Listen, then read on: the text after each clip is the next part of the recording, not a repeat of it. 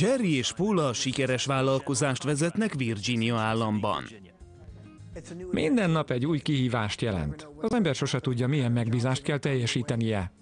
Néhány évvel ezelőtt a dolgok korán sem voltak ilyen rózsásak. Jerry élete romokban hevert, miután meghalt kisgyermeke és szakított barátnőjével. Az addig sikeres festőmázoló cége pedig csődbe ment.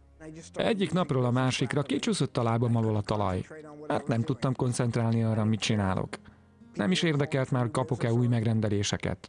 A munkám színvonala lecsökkent, értéktelen volt minden, amit csináltam. Ezért aztán nagyon nehéz volt. Polának is megvoltak a maga kihívásai, egy fájdalmas vállás után három kisgyermekre viselt gondot, ám a megélhetés sokszor nem ment könnyen.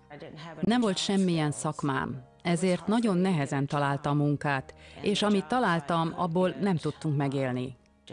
És szépen lassan, vagy nem is volt olyan lassan, depresszióba zuhantam. És ez még nem minden. Mindketten összetörtek és hajléktalanok voltak, de Jerry ígéretet tett Polának. Szerettem volna, ha velem marad, de nem tudtam semmit adni neki. Ezért megígértem, ha hozzám jön, akkor örökbe fogadom a gyerekeit, beköltözünk egy házba is.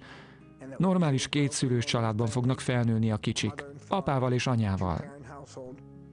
És akkor valami különös dolog történt. Éreztem a szívemben, hogy Jerry egy különleges ember. Nem sokkal a házasságkötés után Pola édesapja 2000 dollárt adott nekik, hogy indítsák újra a festővállalkozást. Újra átadták az életüket Jézusnak, és elkezdtek tizedet fizetni. A feleségem megmutatta a tizedfizetés fontosságát. És minél többet adtam, annál többet kaptam vissza. Ez egy csodálatos alapelv. A Bibliában az áll, hogy örömmel és ne kényszerből adjunk. Két évvel az indítás után a cég teljes körű szolgáltatásokat nyújtó vállalkozásán nőtte ki magát. Az elején egy segítőmmel festettük a házakat, de rövid időn belül már más embereket is alkalmaznom kellett. Egy évtized elteltével az üzlet éves bevétele 600 ezer dollár lett. Sosem volt veszteséges évünk, amióta tizedet fizetünk. Az idei sem az.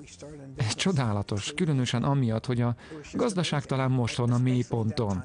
Minél többet kerestünk, annál több tizedet fizettünk, és annál többet adakoztunk.